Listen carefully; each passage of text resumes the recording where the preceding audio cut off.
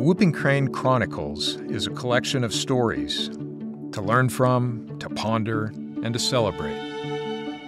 I'm Mike Forsberg, a conservation photographer from the Great Plains.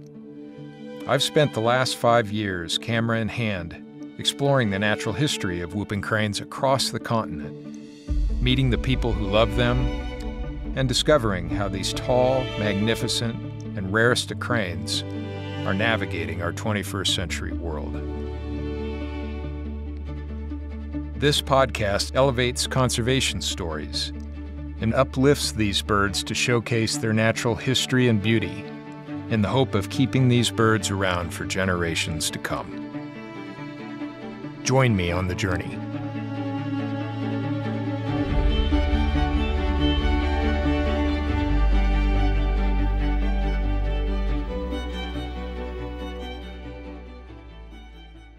So, hi, folks. This is episode one of the Whooping Crane Car. you can tell why it's episode one because I cannot pronounce chronicles. It can be carnivals or carnivores. chronicles, uh, Whooping Crane Chronicles. And today I am joined by, let me see if I can get this right Nebraska Game and Parks Commission, non game bird biologist, and didn't you say there was a specialty in it now? Piping plover and least tern specialist. Okay. Nebraska Game and Parks Commission non game bird biologist, piping plover and least tern specialist with a lower S, Yeah, like lowercase s. and my very own daughter, eldest daughter, Elsa Forsberg. Nice to have you here. Thanks. Happy to be here. Um, yeah, I don't know where this conversation's going to go today, but we can sort of set precedent here because over the next year or so, we're going to be talking to a lot of different people that have had connections with cranes, and especially with whooping cranes, which has been a project I've been working on for the last five years. And now it's time to pull the curtain back. And you have been with me to see whooping cranes maybe more times than just about anybody anybody else. And to start off the the show or the episode tonight, I wanted to read to you something that I wrote out of my journal. So I've kept journals every day I've been in the field pretty much over these last several years. And the only problem with me writing journals is that I can't read my own writing. So, you know, I don't know if I can even read this one, but I'm going to try because it says I can see your name in it. It says Elsa. Aw. So it's November 1st, 2022. Halloween Eve, Elsa and I raced out of our respective classes at Hardin Hall on East Campus and hopped into my truck and we sped away, leaving school behind and as we said to each other, quote, going on a whooper hunt. Remember that? Uh-huh. Yeah. this has been our tradition on Halloween since she was in late grade school when she asked me if she could go watch cranes rather than go trick or treating.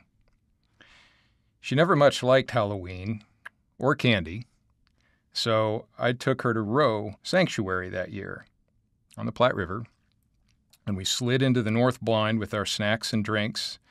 And frankly, I was not expecting to see any cranes at all because it's really hard to see cranes in the fall on the Platte. And we had a family of three whoopers fly right past our blind window at sunset. And that sealed our fate. We have tried to go see cranes on Halloween almost every year since. And when I wrote this, you were 24 years old. Hmm.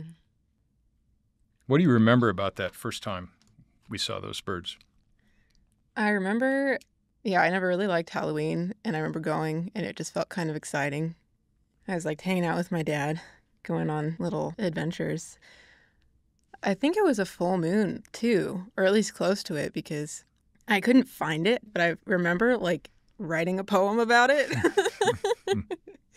like white bird, white moon, like something like that. But yeah, much better than silly Halloween. And I mean, whooping cranes are like kind of ghosts anyway in They their own way. Yeah, they're So- like great white spirits floating out there. Yeah. And like the ones we see today are kind of like ghosts of the past Uh-huh. in a way, but they're not really ghosts anymore. Right. They're alive. Yeah, and they're coming back. Yeah. So let's back up a minute. hmm Tell me a little bit, or tell our listeners out here a little bit more about you and your. I know what your origins are. Oh, but your your love of birds and how you got to where you're at today as the uh, what do we call you the uh, non-game bird biologist okay. My origin of birds. well, obviously, I grew up uh, in a pretty nature or wildlife conservation conscious family. Your crane book was in process and coming out when I was a toddler, maybe before I was born. I've been told my second word ever was crane. That's true, Right. So, I mean, that's just environmental. Right. I mean, I didn't really know exactly what I wanted to do going into college. I debated between like language things or environmental things and ended up doing fisheries and wildlife biology at the University of Nebraska. And I did a couple different jobs. I did some environmental education interning with the NRD at Lower Platte South. I, okay, I guess I did work at the Wild Bird Habitat birdseed store yes you did this summer before I started college. And that was always my fun fact. if we ever had a fun fact, I work at a birdseed store. And then I started getting more down this career track when I think it was before my junior year of college. I had a professor named Mary Bomberger Brown who had a couple technician jobs who work with the Tern and Plover Conservation Partnership. And she asked me if I wanted to apply and work with her over the summer. And I thought, I can't pass that up because I'm remembering this now. I'd already met Mary when you, I was helping you with a blind to photograph least terns. right Yeah. So I knew it would be a really cool opportunity. So I was a field technician the summer of 2018. And I just had to come back and do it the next summer and the next summer after I graduated. And then after I graduated, I moved on. I did a couple different, still bird related jobs. I did try to do other jobs. Yeah. But I had experience in birds, so I kept getting hired to do bird things. Eventually, I heard about a graduate position with the and Plover Conservation Partnership. That was it. I couldn't believe it was real. I wanted to work with endangered species, and I care about turnip plovers so much. why did you let's stop there for a second Okay. why did you want to work with endangered species I just, it feels like I'm doing something really worthwhile. Every day, the work that I'm doing, I feel like it's going towards something, towards a goal to help something that's not myself, to help the world. There's all sorts of things going on in the world, and you can do a lot of different jobs to feel like you're helping a problem. This just made sense to me. So if we, you know, if we take it back to cranes for a minute, you know, when I Mhm. talk to people about cranes, I'm the I'm the crane guy to a lot of to a lot of people because that's Mhm. just how they know me and my association with photography and and the natural world. But I oftentimes say cranes, and I talk about whooping cranes or sandhill cranes, and folks don't know that there's two. Mm-hmm. They don't know that there's a sandhill crane is the most populous in the world out of the 15 crane species. You know, there's over a million strong, and most folks don't know that whooping cranes are the rarest in the world. And when I tell them that, they go, "Oh." And then when I tell them that in the 1940s there was less than 20, they're like, "Oh, Mm-hmm. wow." And that there's, you know, 500 plus in the last wild migrating flock today, coming right through the heart of the Great Plains and right through Nebraska twice a year. Um, it's really remarkable, but it it still is hard because you want to crawl into everybody's hearts and get them to care Mm-hmm. in, in the exact same way that you do. And the only way you can really do that is to is to make it personal mm-hmm. you know and and that's why these these experiences matter so i was lucky to be your dad and give you a few experiences out in nature um, you know that are things that are memories that we take with us the rest of our lives and hopefully it planted seeds for you to care in your own heart about stuff you know and i see you doing that now because in your tern plover project you used to be a, a technician on that project working for others and now you have technicians that are that are working with you Mm-hmm. and to me there's just nothing better than than seeing that seeing that light go on Hmm. you know so Yeah. there, I remember there was another time that you and I saw whooping cranes. So we've we've seen them on Halloween a few times, and we'll circle back to the Halloween story. But let's go way south. You've been talking about terns and plovers. You got your graduate degree studying those birds, but you had never seen them in the wintertime. Mm-hmm. So I was working on this book, and we went down to the Texas Gulf Coast, down to Aransas National Wildlife Refuge, and um, around Rockport and Mm-hmm. all those barrier islands. We had like three goals. or you know, one goal was to go down there and try to see piping plovers and least terns, but piping plovers primarily. And then our second goal was to see your piping plovers. Mm-hmm. We were looking for them, and we know that they're the ones that you study on the lower Platte because they have what color bands? Blue. Yeah, right, blue flags. Yeah. Yeah, Our tiers of goals, right? yeah, Yeah. right. And and then our third goal was to see whooping cranes. So we checked two of those three boxes, right? Yeah. Yeah. Piping plover, whooping crane. No banded birds, unfortunately. You could add more tiers in there too. Piping plover, period. Uh-huh. Banded piping plover. Piping plover that was one of our birds. Piping plover that even I touched it, banded it. That would Right. be cool. That would be cool. Well, we're still going to try to do that. So, yeah, I remember we were at, I think it was Goose Island State Park, and it was the time that we saw the first piping plovers down Mhm. there. And you spotted them. Mhm. And we walked up to the picnic table, and on the picnic table was a sheet, and it, Yeah. and it was a bird list, Mhm. and it had I don't know, it had a lot of birds Like on 50 birds on it, probably. Yeah, Oh, we wrote down the piping plover, didn't Yeah. we? Yeah. Yeah. Yeah, it was in a group of semi palms. yeah, right. Yeah. That was really cool, and then we got to see whooping cranes. Yeah, they were right in the backyard.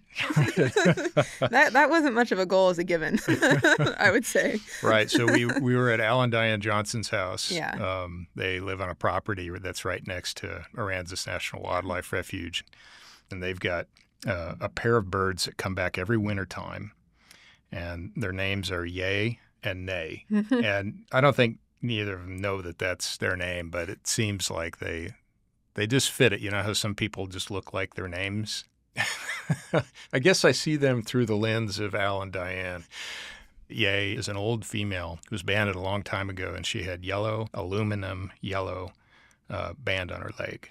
Al and Diane just light up like candles when these birds come back. And Yay and Nay, that's joyful names, you know? and uh, so, anyway, those two have been coming back to that ranch for 20 plus years now. Yeah. And um, it always is right before Thanksgiving, it sounds like. And then they stay until late March, early April, and then fly north. You say give thanks the whoopers are back. That's right. Yeah. So, another time that we were together where we watched whooping cranes. You remember another time? I know we've chased him through the sandhills a couple times. Yeah, we did. We did. I remember his four hours of driving, listening to classic rock in the dark. Could have been 80s disco. it pro- music actually, I think it was like cowboy country. It was probably a mix of cowboy country and classic rock. well, We got bored, I think, of I classic have- rock and switched to I have eclectic taste. yeah, That's another bird that we're going to get to know through the course of this Chronicles yeah. And that bird's name is Brutus. Brutus was the very first bird that I saw in hand in Texas. I was with a capture and banding crew, hmm and Brutus came in. And when he was captured, um, they discovered that he had a broken bill and a big cut, big laceration on his neck.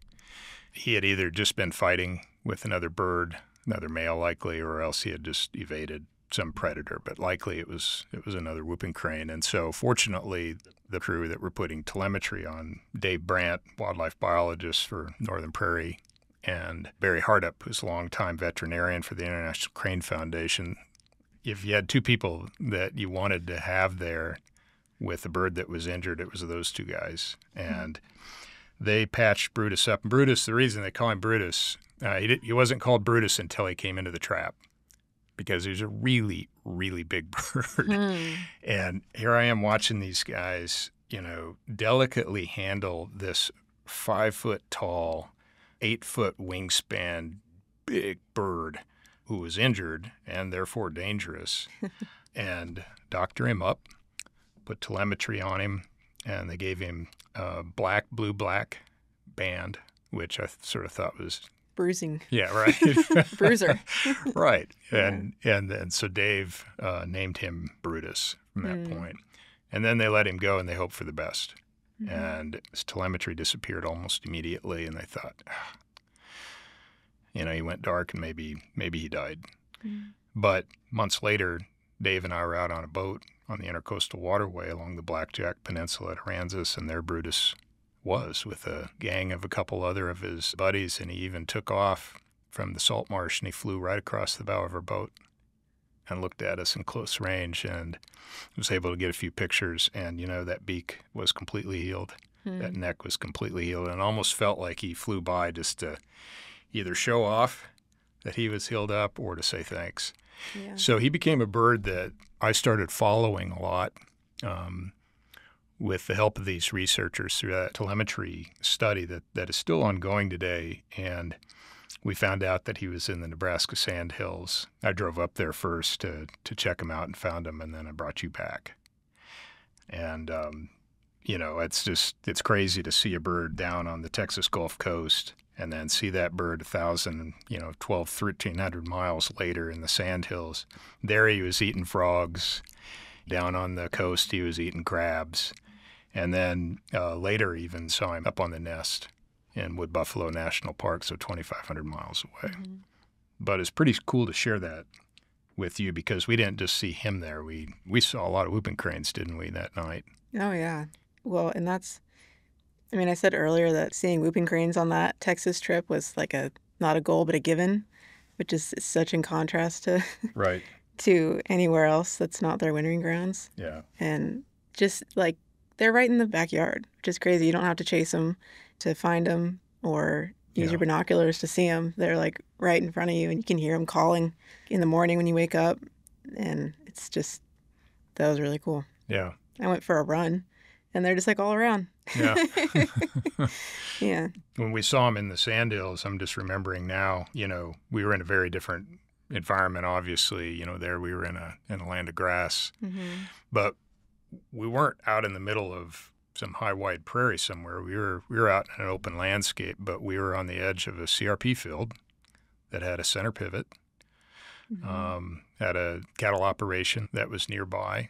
We were at the intersection of two county roads. and some blue winged teals. Yeah, yeah. We saw a lot of blue winged teals Mhm. and listened to woodcock and and um, all sorts of things going through. But we were in a, a working landscape, and the thing that that told me was, you know, we were watching this handful of birds, and they were moving. They were eating frogs out in the wetland, Mm-hmm. but then they were moving up into the uplands and picking around in the grassland, and then they would move over to the crop field, over to the cornfield, and picking through waste grain left over from previous fall's harvest, and then flying back to the wetland to roost. You know that that landscape that they were in was not uh, anything like what the landscapes were that they used 150 years ago. Mm-hmm. You know, before settlement, but Yeah. the thing that, that struck me most about that is that it was just simply quiet.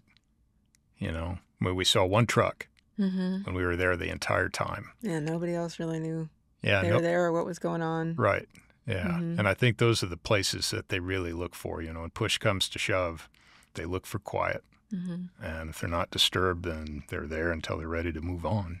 And I always just think about, I wonder, God, I wished I could just talk to these birds for a second. And and what is it that they say? What is it that they think?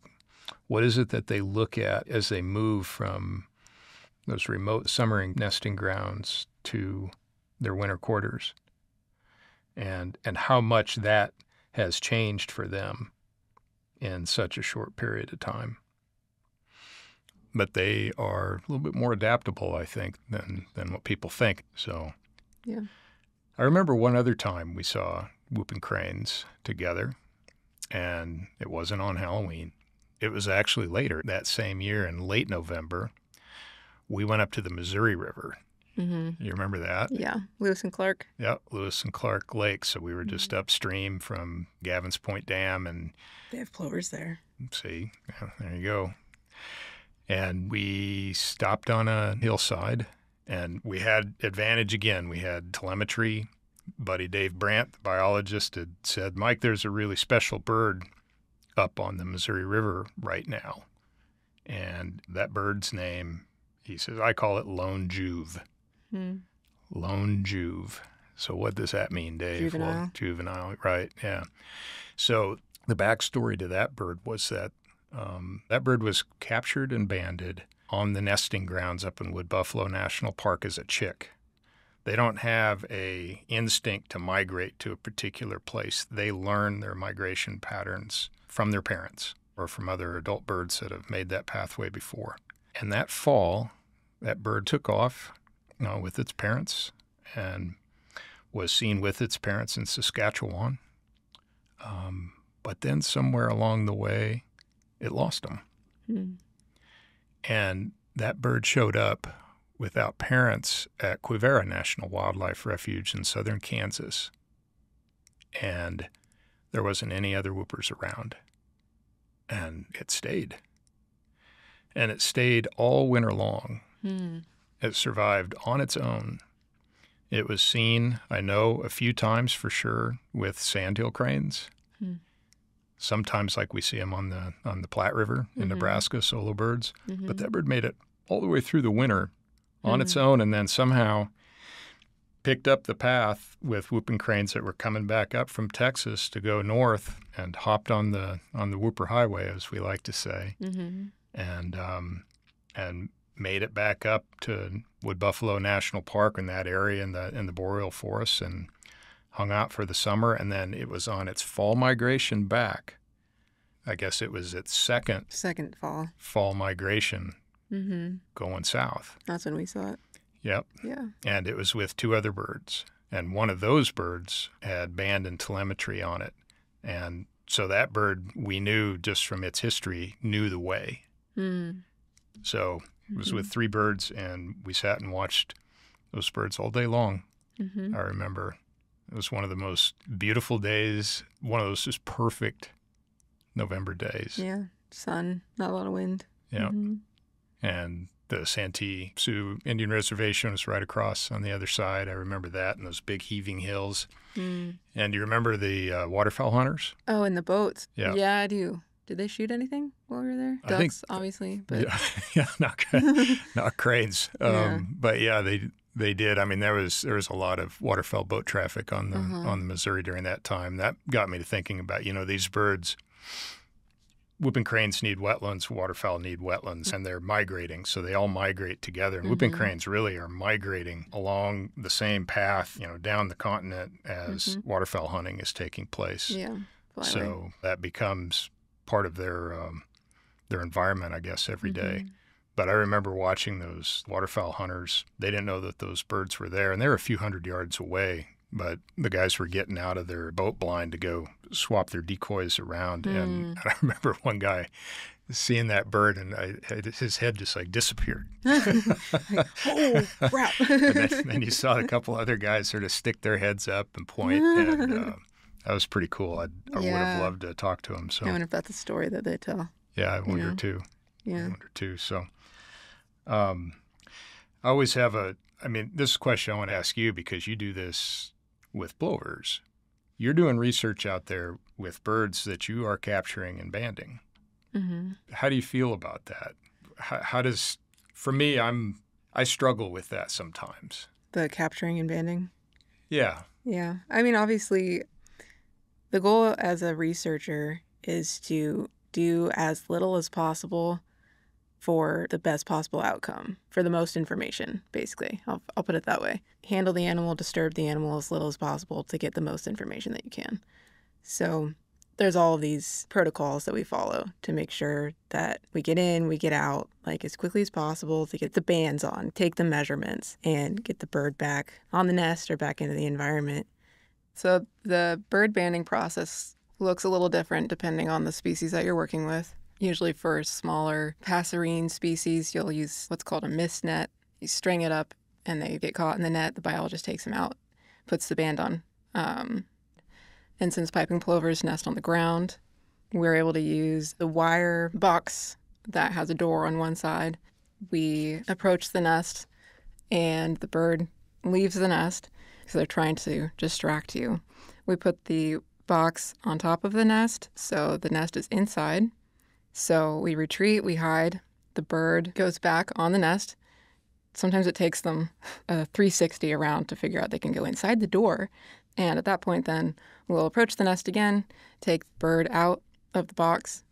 And once you have the bird in hand, uh, usually we'll also take some measurements. So we'll measure the length of their leg, their beak, their wing, take a mass measurement.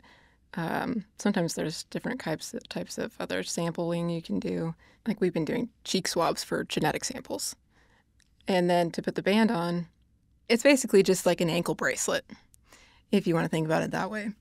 Typically, every bird that's banded will have a metal band with a number on it that's issued from the USGS, I believe. And oftentimes, a bird will also get an auxiliary band, so just like an additional band that is easier to identify the individual when you're out in the field and you don't have it in hand again, because that number that's on the metal band isn't very readable from far away. That will give that bird a unique combination of colors that becomes its identifier, uh, kind of like a name tag or a license plate that the biologist or anyone who's out taking photos or, or watching birds, if they see a banded bird, can report.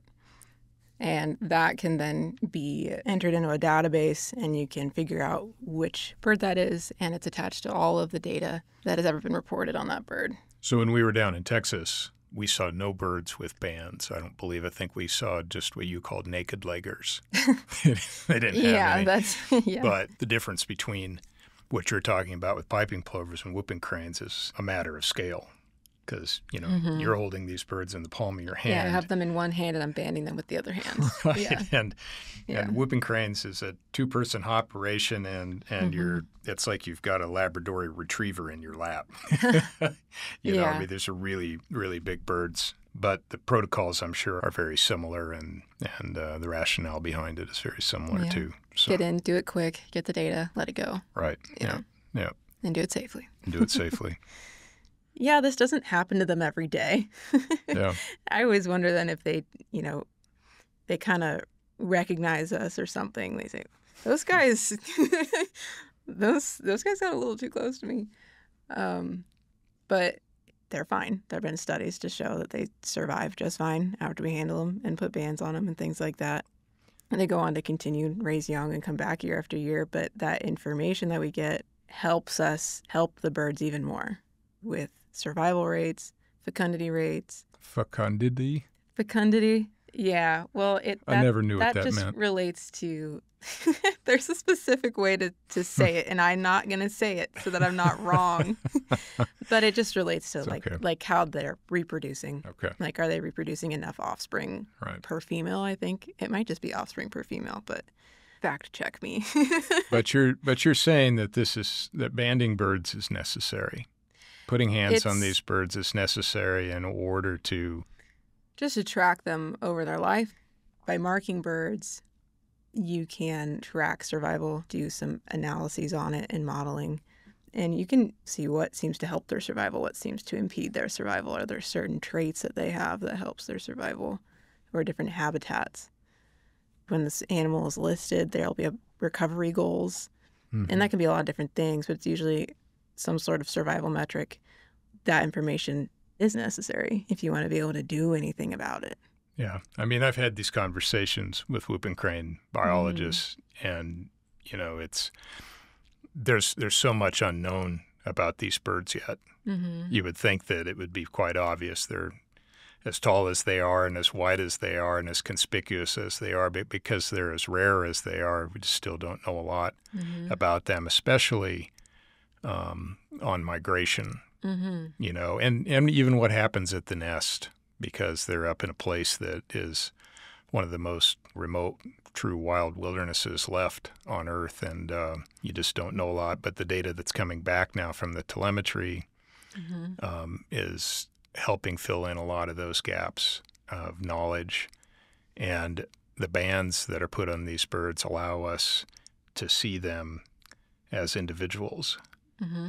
and I know that can be a trap for some where you know you feel like well you're you're anthropomorphizing and and so forth but I don't buy it frankly you know a lot of people will argue with me about it but these birds they they do have their own distinct personalities and their own ways about them and I've seen it you know Mm-hmm. and I can't I can't give it to you in some statistical analysis but I've I've seen it and I know it Yeah. and so I, I guess the question, though, that I pose to some of my biologist friends is when do you know enough is enough? When do you have enough data? You know, when do you have enough knowledge? Mhm. And then when can you walk away from that and take what you know and just go, you know, and put that knowledge on the ground? And there's no right or wrong answer to any of that, but I think it's always important to, Yeah, to no, talk about it, right? Well, that is a big question because all of these banding efforts are funded by something. Yeah. And that money, you want that money to go towards something that's going to be worthwhile and Mhm. important and get information. So, why are you putting that money into your effort versus another species or a different part of their life history? Right. And with banding, I mean, we've asked this question with the Tern and Plover Partnership. We've been banding birds since 2008, and that's a 15 plus year data set. And you could say that's a long time. There's a lot of studies that do banding that will do it for two or three years. The argument there, why do you keep banding? And I assume this would be similar for whooping cranes. You know, we started because they're in trouble and we need to be able to track them. Sure, they're getting better, maybe, hopefully. Piping plovers are stagnant, but anyway. Um, a long term data set is pretty rare, and you can continue to track trends over time. And also, especially when you're working with endangered species, one thing that's important in science is sample size. If you have an endangered species, your sample size might not be very large. So, the more data that you have, the more you can do with it. Right. Those are generally the arguments Right. that I would make there. So I didn't expect us to talk a lot about this tonight, but I'm glad that we are. Technical side. Yeah. So that is the technical side, and we're talking a lot about science and the Mhm. process and, and the thinking behind it. Um, me being your dad, mm. I I know that you're a really good scientist and you're good at all of that side of it, the the analytical part. Um, oh, shucks. but I also know that story matters. hmm to you. You write a lot, you draw, you do all sorts of things that are creative, and I've seen you operate in that space where you're you're just, you know, you just you want people to care, and you'll reach them any way you can. As a scientist, with your scientist hat on, Hmm. can you talk a little bit about the value of of story and making this personal? I'll tie back to what you said about talking to people about what's the difference between a whooping crane and the sandhill crane and the history of the whooping crane. And you want someone to care. And humans are built on story in a way, and that can be a way in. And I've, you know, I've seen that day to day, not only with the stuff that you do and get a lot of people to care about the species you work with and the landscapes, um, but also just in my day to day with terns and plovers as well. And we have one bird right now who not anthropomorphizing, but she has a couple different names that are not her band numbers. uh, one of which is Old Lady Crandon because she's 12 ish, Wow. 12 plus Wow. year old bird. So we banded her as an adult in Mhm. 2011, I think, uh, 2012, which is more than double the average lifespan of a piping plover. And uh, just with the banding, we know that she shows up at the very same beach in Miami, Florida, every winter. Then in the summer, has come back to the Lower Platte River over and over. And this year, she decided to nest at a mine, sand and gravel mine, where we monitor at least tern and piping plover nesting. And there's a lot of activity. They're done mining, they're converting it into housing development. So there's a lot of contractors, things out there who need to know where the birds are, how long they're going to be there, and where they can go, where they can't go. So everyone's paying attention to these birds. And I'm only there once a week because I have to visit Right. so many different birds. Yeah, like six, Over the- 65 nests or we had something, about right? 60, yeah, 68 is the recent count. But the contractors and guys working at the mine are there every single day. And we've had a lot of storms this summer. So I got a message one day. I knew it was storming in Fremont that morning, so I was not in Fremont. and I got a message from one of our contacts at this mine, and he said, Six inches of rain, hail decides to crack the windshields on our pickup trucks. Wow. And that bird is still on the nest. wow. And I first just thought, yikes. Yeah. and that's incredible. Yeah. We, I mean, it's hard to know exactly how many nests are lost to storms, but to keep that nest safe and secure, she has to sit on it the entire time and hope she doesn't get clocked with a hail ball. And Yeah. thankfully, she didn't, um, because she then went on to have the moniker Hail Mary given to her by that that gentleman. And she also, you can tell, well, this is just an, a personal observation. I think she knows what she's doing because every time we'd go check on her nest, she's all up in our business, but not super aggressively. She's just kind of like, hey, she gets really close. Some of them are a lot more skittish. Uh huh. She gets really close and just says, Excuse me, are you done yet? in bird code, of course. Right. And she went on to hatch four chicks that I've seen now to be three weeks old as of this last week. Wow. And I mean, she's she's a story, and that was the end for these guys too, because every week we would go visit. Some other contractor would come up and ask us what we're doing, and say, "I've seen that bird on the nest." And they ask me questions. Well, what is, is that a killdeer? No. Yeah. And well, this is what who she is. Actually, she goes to Miami every winter. And they say, "Oh, that'd be nice." say, "Yeah, probably would," but she has to fly there all by herself. And they say, "That's crazy. That little bird." Yeah. And it's, Yeah. I it's mean, a, that's that's just one example. that's a doorway. You know. Yeah. You just open that Yeah. door. And there's by banding these birds, you know, we get stories about them like that. So you said she goes to Miami. Is she on Miami Beach or is, Not yet. no? But I- but that yeah. is where she winters though. That's where she winters. And do you have somebody down there that that So sees her? we've got her reported a few different times by a few different people. Yeah. Yeah, just through the email threads that are sent out to some plover biologist somewhere in the country that eventually makes its way to, Isn't that Joel. crazy? yeah, Yeah. And you said she's 12 years old, at least so she's traveled all those miles. Over and over. Yeah. Yeah. That gets me to think about back down in Texas a few years ago, Liz Smith, who's another person that we'll talk to down the road that you've met. Liz is a uh, longtime biologist, lifelong Texan. And uh, I was down doing work at Aransas, and Liz called me and she said, Mike, I'm looking at a bird out on Cavasso Creek, which is off the highway near Rockport, um, on refuge property.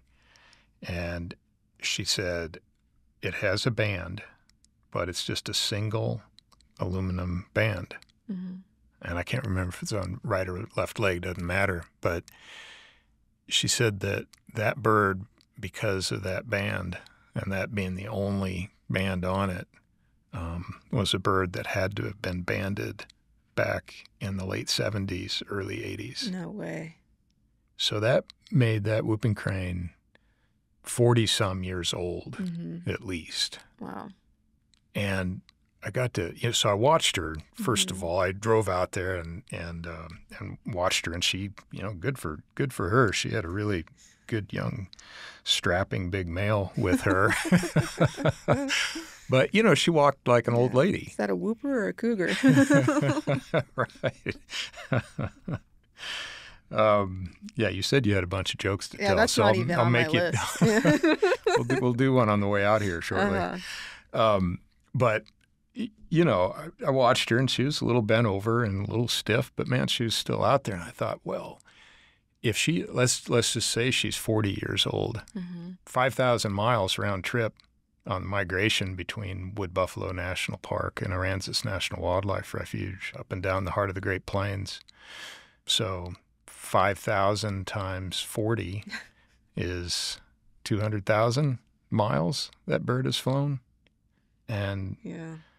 at least, and imagine what she has seen and the stories that she has to tell.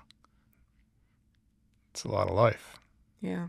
Um, yeah, it's Well, would that make her like a second generation from the 1940 flock? it could, it could, yeah. Yeah. So I I wonder about her. Wonder if she's still out there today. But Yeah.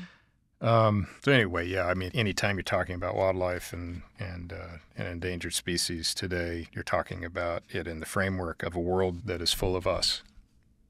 Yeah. So Yep. When we're looking at species today in this changing world with all sorts of habitat modifications and human presence, climate changes, and all that sort of thing, and you've got species that already threatened and endangered, the only way they're going to survive is through conservation work and research and also their own adaptability. I mean, they have survived this long. and I mean, whooping cranes, you say, have some adaptability. Piping plovers are evolved for some level of adaptability. They live in a very dynamic ecosystem, at least here on the Lower Platte River, where habitat changes from year to year and across years and within the year. I think that there's tipping points though too. Yeah. Oh, for sure. You know, and so it's we we always have to look back and then look forward. Yeah. You know, it, uh, the question I always come back to when we're thinking about species and endangered species, it's wearing that badge, but the goal is to get that animal off of it. Yes. And how do you get it off?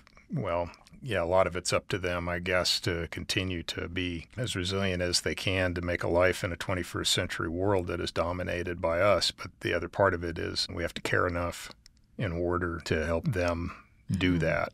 So, you know, all research is funded. Money just doesn't come out of the sky somewhere, and that Mhm. funding is dictated by politics and, and policy and, and what people care about. So, you really have to operate at that level too, where you have to tell the stories of these birds and that they require, just like we do, um, you know, habitats in order to survive. Their home is oftentimes our home too. So if you look at cranes, it's, you know, cranes require grasslands and wetlands, healthy grasslands and wetlands to survive. So do we.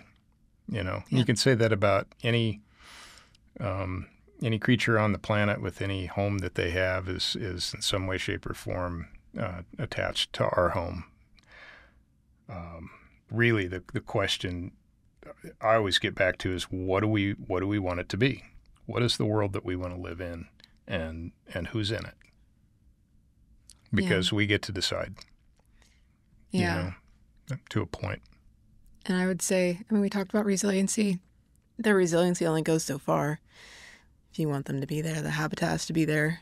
One of the biggest reasons for any of them being on the endangered list is loss of habitat. Yep. Yeah. Yeah, and that's that's very apparent in both of the bird species that we are talking about.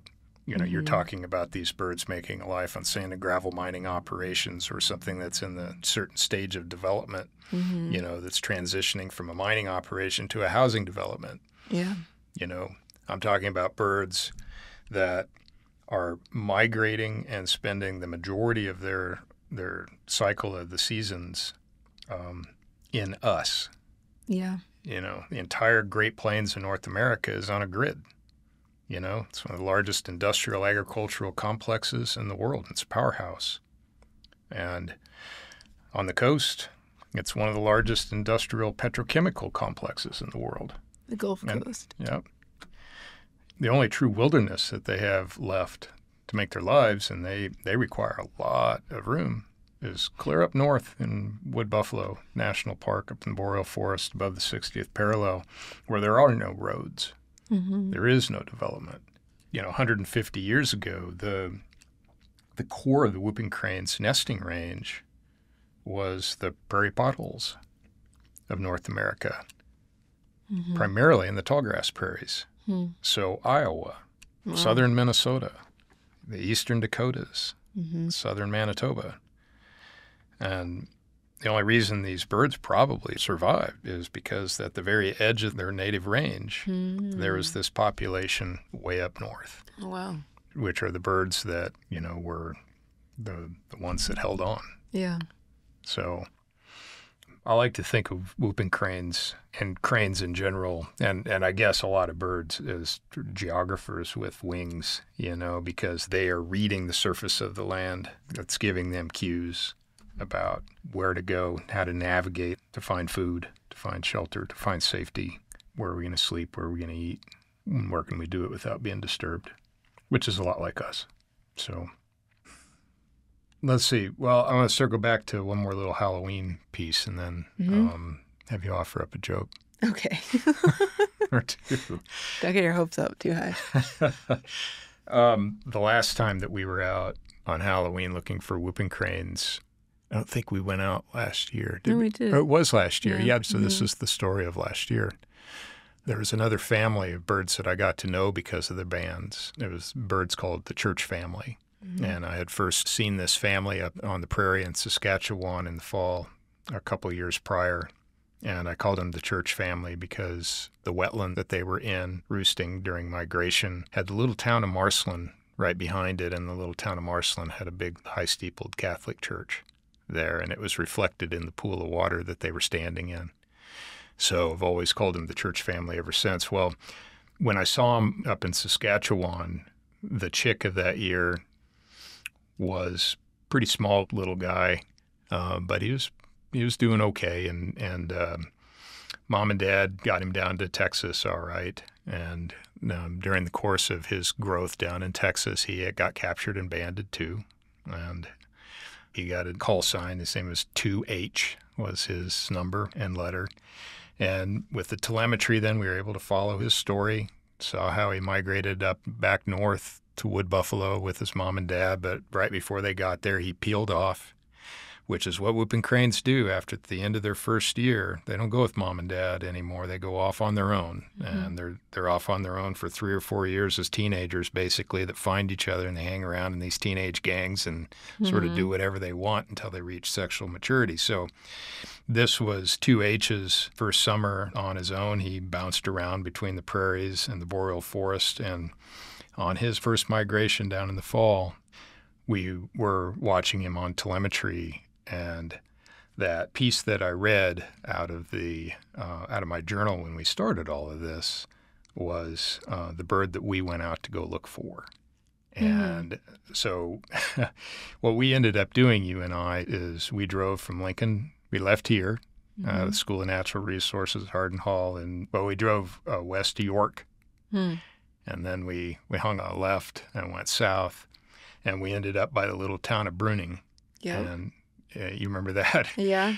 and there was a, uh, I mean, it was just you know one of those again perfect perfect evenings, and um, there was a little flood control reservoir that was there, and um, I remember the telemetry would ping in once an hour, and it pinged in, and we were sort of racing sunset at the same time, you know, and and it, it pinged in about 20 minutes before sunset, and we knew that we were close. We went and um, went to this flood control reservoir, it was, um, public access, and we walked up to the dam, Mm-hmm. and we didn't see the bird. Not right away, Mm-hmm. and it's like, well, where the heck is it? Mm-hmm. You know. And I turned around, and started walking back to the truck, and you said, "Dad, I see it." And so we got back in the truck, drove around to a better location, and we watched that bird. And it's and it had a buddy with him, Mm-hmm. and um, we watched that bird go to roost, um, sort of standing amongst the, the old stand of flooded cottonwood trees, you know, not too far away from it. And um, I remember we were looking at the moon. Um, Jupiter was out, and we could see the moons of Jupiter, Uh-huh. and it was a glorious, um, glorious night. We put those those birds to bed, Mm-hmm. and um, and that bird 2H, um, I've seen that bird again, very healthy one, and, and his mom and his dad are still raising new generations. They just had another chick that they took down to Texas and back up to Wood Buffalo this year. Hmm. So it's uh, all things connect. And then uh, you remember what we what we did on our way home? We went to that Runza. That's right. yeah, we went I to wasn't that. gonna say that, but then you said it, so. You gotta you gotta have a runza to polish off the, the evening of Uh huh. looking for whooping cranes. So um, yeah, anybody out there that doesn't like Halloween, you know, go look for birds, and, And if you you're in Nebraska, go get a runza. right? Yeah. So almost every Halloween, I made it a point to be home so we can go watch birds somewhere. And that that egg of an idea was hatched that first Halloween back when you were in grade school. But uh, the last several years, the focus has been on whooping cranes. And since 2019, I've been working on this story and this book and this project. So the thing is, which is really fortunate for us, is that in Nebraska, Halloween, sort of that stretch between the last week of October and the first 10 days of November, is sort of the sweet spot for when whooping cranes on migration are coming through the central plains, you know, and we got this thing that we do. So it's a pretty, pretty good deal. I think it's just cool that it has worked out so many times and it's kind of it's one of our things. I don't know. It's very unique. That's for sure. Do you ever get tired of me carrying a camera around?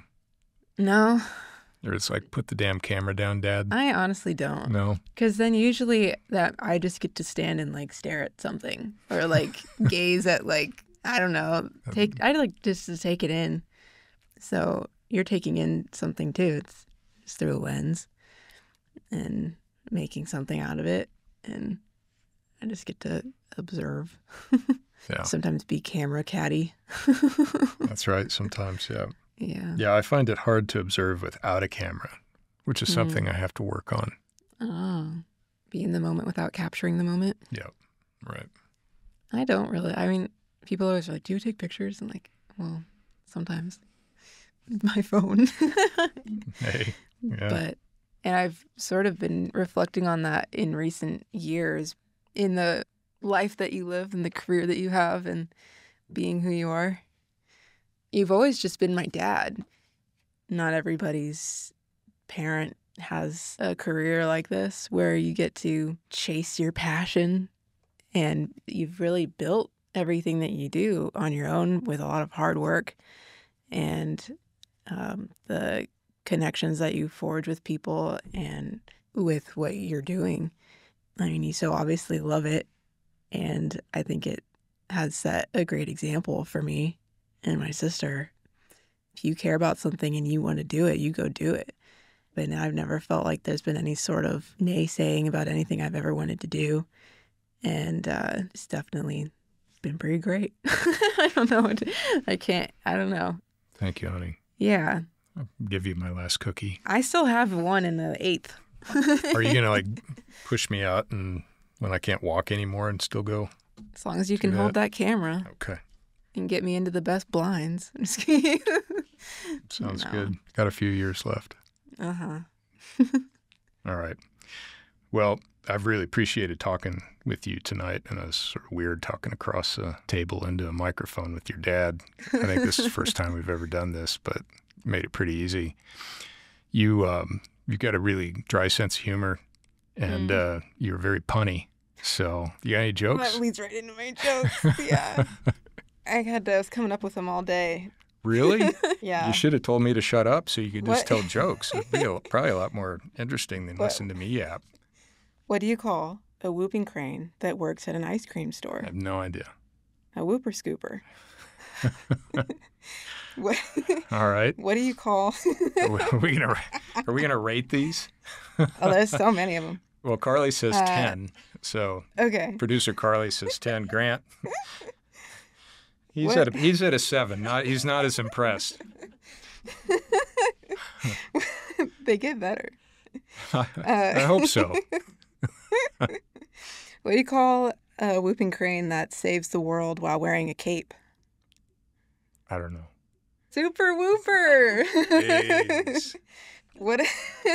Some of these are really niche, but I'll skip those. What do you call a whooping crane that enjoys chowders and stews? This is what you've been doing all day. It's another super whooper.